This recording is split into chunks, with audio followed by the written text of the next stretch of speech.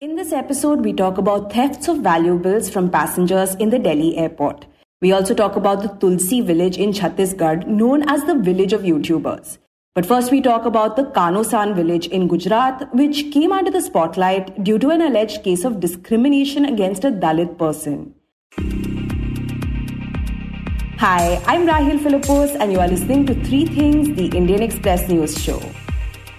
The Kanosan village, located in northern Gujarat, is one of the many villages in the state that comes under the Samras scheme and are recognized as a Samras village, a place that has achieved social harmony.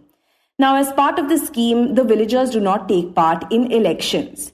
When we spoke to the Indian Express's Parimal Dabhi, he explains the Samras scheme to us. Instead of electing a person, their representative, they select a person and they don't go to elections. And like that, without going to the elections, they select their entire Gram Panchayat, including the Sarpanch. So when a village goes samras, they don't go to polls. And after formation of the body, the government gives such a village special incentives. If a village is not going to elections and they select their representatives with consensus, it means that there is harmony in the village. So that is the whole uh, idea of having a Samras village. Parimal tells us that right now about 2200 people reside in the Kanosan village, with over 90% of them belonging to the Thakur community, which comes under the other backward classes category. Now, as mentioned earlier, this village is currently grappling with a controversy related to discrimination. And at the center of it is the village's only fair price shop. This shop is run by Kanti Parmar, who belongs to the Dalit community.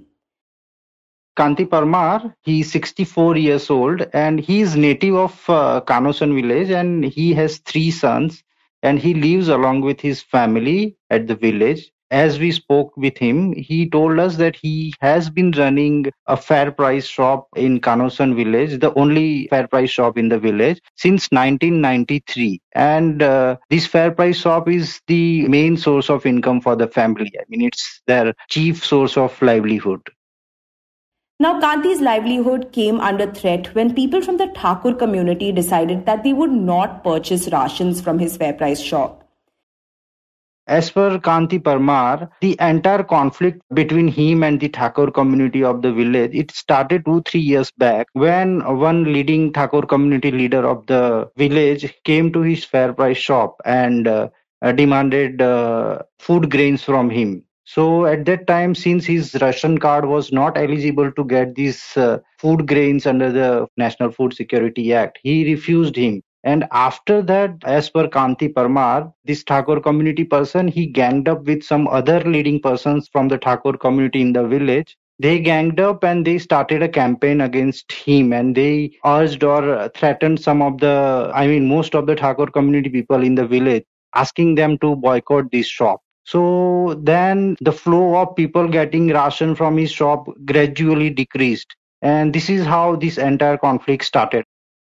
In fact, the result of this boycott was too much for Kanti to bear. And earlier this year, he tried to end his life by ingesting a poisonous substance. He survived the incident, but because of the effect of the poisonous substance, his left leg had to be amputated. So after this incident, after his operation, everything, Kantibhai's uh, younger son, he has got registered an FIR against four persons of the village, all from the Thakur community. And he has accused them of pushing his father to commit suicide by asking the Kanosan villagers to boycott his shop. When Parimal spoke with members of the Thakur community, they informed him that they had a lot of problems with Kanti Parmar, which was the reason they had stopped purchasing rations from his shop. One of the major complaints is that they are alleging that Kanti Parmar is of very rude behavior. The other complaint that they are making is that they are not getting sufficient and timely food grains at the ration shop from Kanti's uh, fair price shop and the third complaint they are making is that since uh, Kanti Parmar belongs to the Dalit community, he has been framing them in false uh, cases under the Scheduled Caste and Scheduled Tribe Prevention of Atrocity Act, which is commonly known as the Atrocity Act. So they are alleging that he has been framing them in these false cases and therefore they don't want to go to his shop and buy the ration from there. Now, Kanti has denied these allegations, saying that he has been running the shop for decades and has never faced any issue until now. He's saying that all these allegations are incorrect. As far as uh, allegations of uh, false cases are concerned, he is saying that there are five, six cases of atrocities registered in the village in recent past. He also says that in barring only one FIR, in all other FIRs, compromise have been struck with intervention of some of the community leaders of the village. So he is refuting all the allegations leveled by the Thakur community. Now, the ongoing conflict between Kanti and the villagers soon reached the district collector of Patan, Arvind Vijayan, prompting him to initiate an inquiry into the allegations. And uh, after holding meetings with the two sides, the Kanti Parmar side and the Thakur side, on September 12, the collector passed an order and he transferred all the ration cards of Kanosan around 436 something from Kanosan to neighboring Edla village. I must also mention that uh, as the controversy was brewing, and people had stopped buying ration from Kanti Parmar's fair price shop. Most of the people from the Thakur community, they were buying their ration from other uh, neighboring villages under the One Nation, One Ration Card scheme of the government. So after these orders, the collector has transferred all the ration cards to the neighboring Edla village, and the collector has also ordered that the fair price shop uh, administrator of Edla has to provide the food grains at the Kanosan village itself. I mean, it means that they don't have to go to Edla village to get their ration. And what's interesting is that the district collector transferred Kanti Parmar and his family's ration card to the neighboring Edla village as well. Now, as we mentioned earlier, the fair price shop is Kanti Parmar's only source of income, and this decision by the collector could potentially jeopardize his livelihood. So, once all the cards have been transferred to the neighboring village, he'll not get any customers, okay, to buy ration from his uh, shop. So, if that is stopped, then his license to run this fair price shop will also be cancelled. And in that way the chief source of the income of the family will be cancelled. That is what his fears are. So the family is considering to approach a court of law to challenge this decision transfer of the ration cards. So that is the one option they are considering right now However, the Gujarat government said that the district collector's decision wasn't based on any discrimination and that the grievances of the Thakur community were genuine.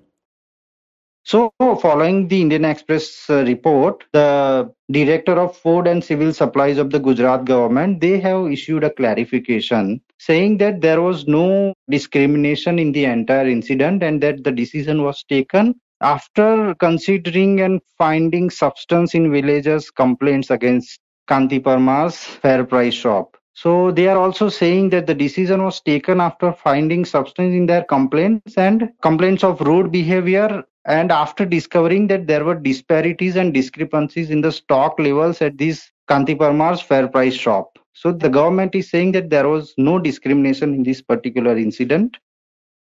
Now, despite this clarification from the Gujarat government, Parimal says that such an incident raises concerns about caste discrimination in the state, especially when considering the fact that Kanosan is a Samras village with supposed social and communal harmony it definitely raises questions in one mind as to under what circumstances a village is declared or it goes a Samras way. When this village was a Samras village and still such an incident is being reported from such a village, so it obviously raises questions in one's mind as to under what circumstances a village is declared or it goes Samras way in Gujarat.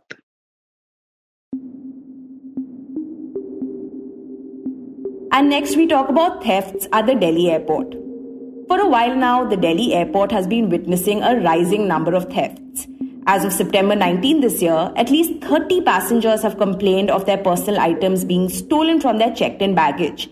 And according to the Indian Express's Arnabjit Sur, the culprits have been stealing some pretty high value items.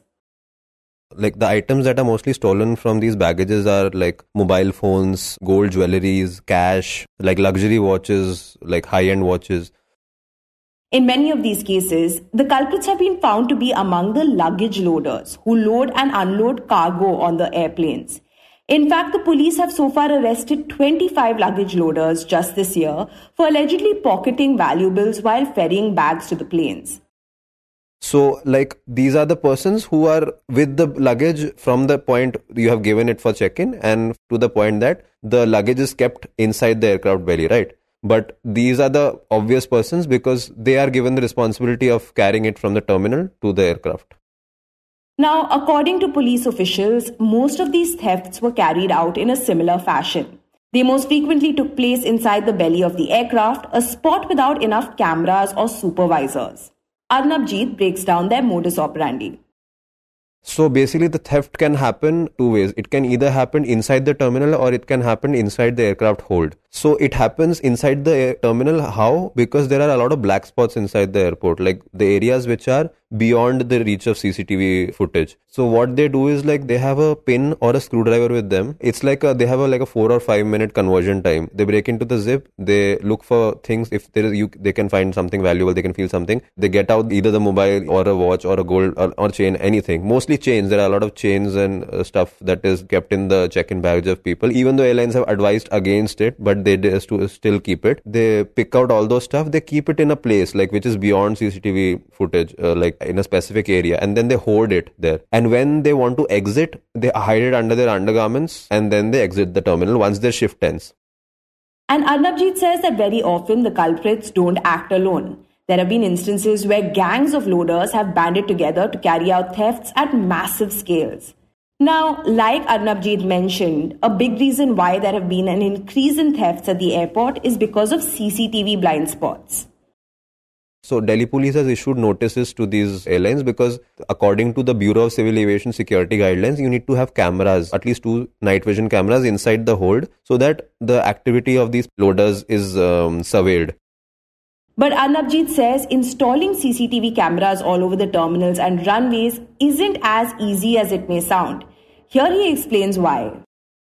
So, according to aviation experts I spoke to, they said that they cannot install cameras that is beyond what is the default. This thing is uh, the default make of the airplane. Like it's very difficult to install it. Uh, like off record, also they told me that there is a lot of wiring and everything involved, which might tamper with the overall structure of the airplane. So, like there is a lot of agencies are involved. BCAS is involved. The civil aviation ministries are involved, and Right now, there are no per se guidelines of installing cameras. That's what Delhi police is issuing notice to these airlines. But the senior expert that I spoke to, he told me that it's not very easy because it goes against the make of the airline. Police officials believe that the reason that these thefts have become so commonplace of late is because airlines are not following guidelines laid down by the Bureau of Civil Aviation Security or BCAS.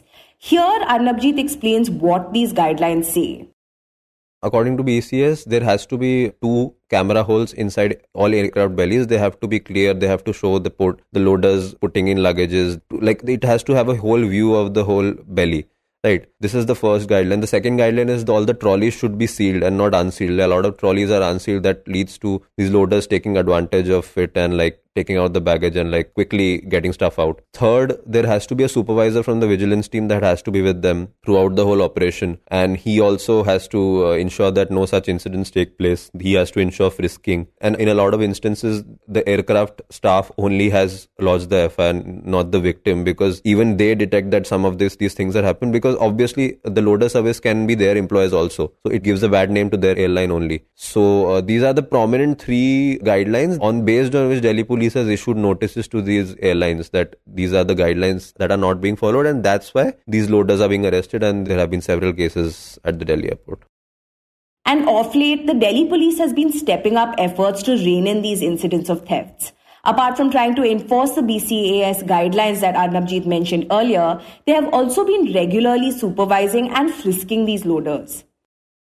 So basically, Delhi police started a drive six months ago. Since they saw that there have been a lot of such instances where both domestic and international passengers have been complaining. So Delhi police has prepared a whole pro forma where they are tick marking which all things are being followed. So basically, they have created a two inspector team, like a whole team has been prepared, which carries out random checkings of loaders because all these loaders have a BCAS security identity card. So they see that if there is identity card or not. They see if they carry out frisking. If something is found on them, they are arrested then and there. Like basically, apart from the supervisor, Delhi Police's team keeps a tab on them from the terminal, seeing that if they are not performing in a suspicious manner the job that they do. Also like there are a lot of awareness drives because CISF is also involved. Apart from Delhi police CISF is the one that's the first responder. So CISF officials have told me that um, yeah it happens due to black spots only and the Delhi airport authority Delhi police and CISF have actively told passengers not to keep their valuables um, inside the check-in and just to keep it inside their hand baggage but still such stuff happens because like obviously there is a lot of lack of awareness on the part of passengers also. But that's what delhi police is doing right now. And like this drive will go on. And like right now it shows that the numbers are decreasing only but it's still far from what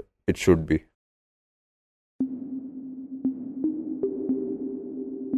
And in the end we talk about a village in chhattisgarh Tulsi village, which is located around 45 kilometers from the city of Raipur, had gained a lot of attention last year for producing an astonishingly high number of YouTubers. This village, with a population of 10,000 people, has given rise to 40 content creators, earning it the title of the Village of YouTubers. And this is why earlier this month, the district administration put in place specific measures to help these creators in improving their content and enhancing their professional skills. To know about these measures and the village of YouTubers, my colleague Uchas Sanman speaks to the Indian Express's Jayprakash Naidu in the segment. So, Jayprakash, can you begin by telling us why have we seen so many YouTubers coming out of the Tulsi village? Yeah, so for uh, several decades now, the villagers are performing Ram Leela during Diwali, and many youngsters have taken inspiration from it. They have taken up acting, writing, singing, directing as hobbies. So some villagers took their talent to YouTube and got remarkable success. For example, uh, villagers like Gyanendra Shukla, who runs Being Chhattisgarhiya, and Keshav Vaishnav, who runs K Music. Both of them have over 2 crore views till now. And seeing them, other villagers got inspired and started their own YouTube channels. When I visit the village, the villagers were telling me there are 40 of them running YouTube channels.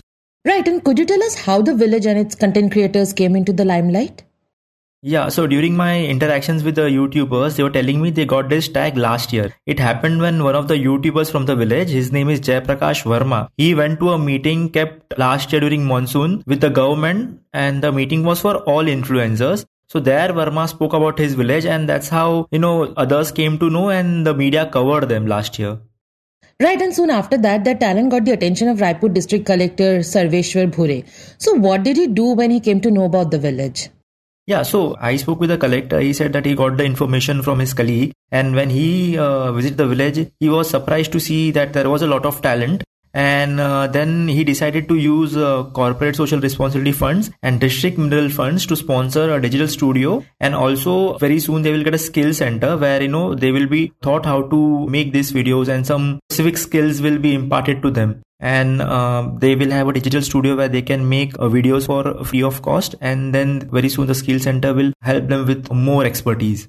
And what did the youtubers say about how the studio and the skill center will benefit them so I spoke with around 10 uh, YouTubers there. The ones with popular YouTube channels like Being Chhattisgarhiya and K Music said it will save 40% of their total cost of production. And for singers, it will save a lot of money as they do not need to travel to other cities for recording. Some nominal cost will be taken for maintaining the studio. There are around 4 to 5 editors already there in the village but with the skill center which will come up soon they will learn new things like digital marketing graphic designing and sound mixing. Further self learning using youtube videos will help them to use the studio better. One of the youtubers abhishek verma who started off in 2018 said he used Wi-Fi at railway stations and colleges to download software. Further, he spent hours to export the videos due to his weak laptop and this was the case with other YouTubers as well. So Verma said things will be much easier now and it's all about hard work for these budding YouTubers. And the Zilla Panchayat CEO Abhinash Mishra said one of the villagers got a private contract for some digital work by self-learning. So the potential needs to be explored,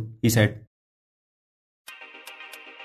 You were listening to Three Things by the Indian Express. Today's show was edited and mixed by Suresh Pawar. It was written and produced by me, Rahel Philipose, Ucha Sarmin, who spoke to Parimal Dabhi for the first segment, and Shashank Bhargav. If you like the show, then do subscribe to us wherever you get your podcasts. You can also recommend the show to someone who you think will like it. Share it with a friend or someone in your family. It's the best way for people to get to know about us. You can also tweet us at Express Podcast and write to us at podcast at the rate indianexpress.com.